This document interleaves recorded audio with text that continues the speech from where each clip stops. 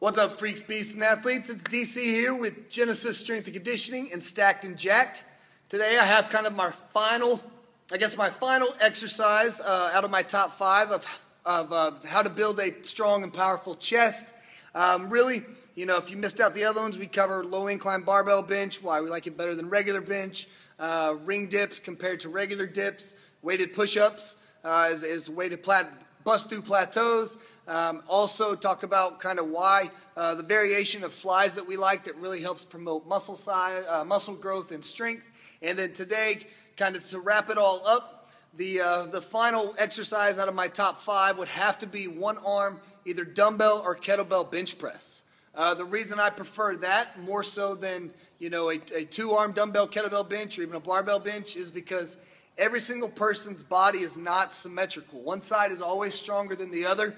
Uh, and for someone who always just lives on a bench or even lives with just dumbbells uh, going at the same time, they're never going to be able to balance that out.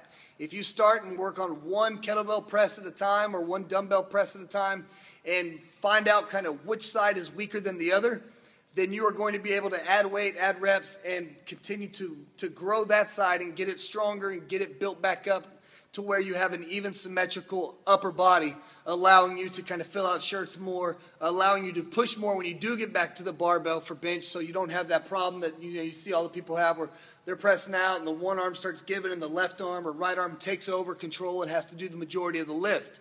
Uh, so, you know, throw one arm uh, kettlebell or dumbbell presses in there.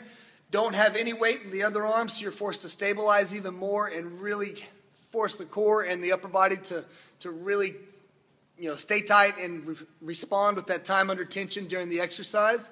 Add that in. If you have any questions, comments, uh, drop me a line below. I have some free gifts for you, so click on the links below to check those out. Now you guys know, and knowing's half the battle. Genesis. Show my hardcore is, you know what I'm saying? Uh huh. Yo.